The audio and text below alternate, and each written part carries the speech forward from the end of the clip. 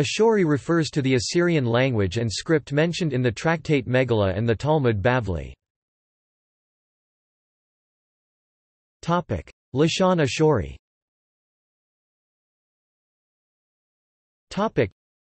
the mention of Lashon Ashuri, or Assyrian language, is referenced twice in the tractate Megillah, in Megillah 17a, 9 and Megillah 18a, 23, where the rabbi interchanges Ashuri with Hebrew. Hebrew is also referred to as Lashon HaKodesh, or Holy Tongue.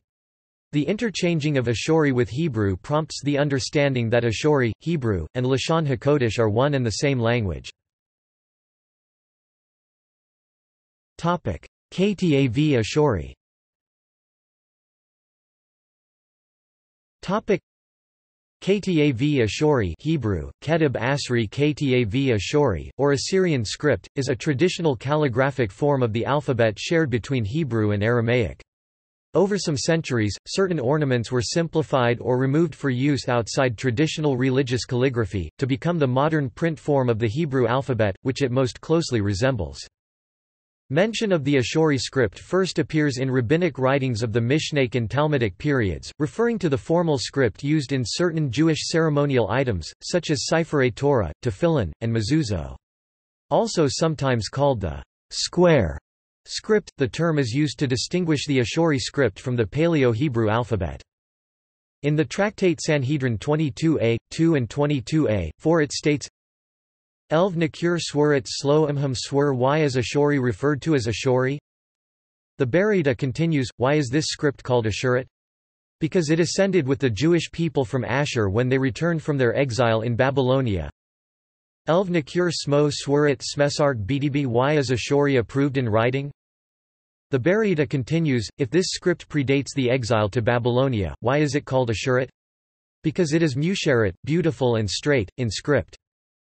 The Talmud states that Ashuri was authorized in writing, and that the script ascended with the Jewish people from Ashur, upon their return from the Babylonian exile. This is how the Assyrian script became in use for the Jewish people.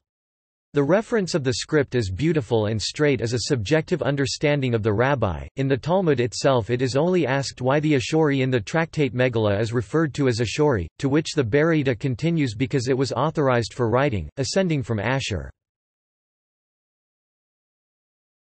Topic: Ritual use of the script. Topic: There are many rules concerning the proper formation of letters if the written text is to be valid for religious purposes. Ashkenazi, Sephardi, Mizrahi, and Yemenite Jews each have their own calligraphic tradition regarding certain details of how each letter is formed, although the overall shape is similar. Generally, while each tradition favors their own calligraphic style, none consider the other tradition's pasul invalid for Torah scrolls or any other ritually used scroll or parchment.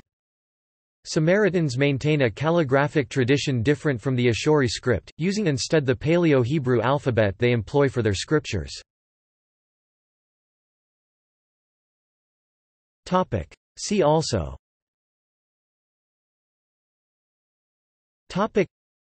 Ktav Stam Ashur Assyrian people Ashori, Iran, a village in Hamadan province, Iran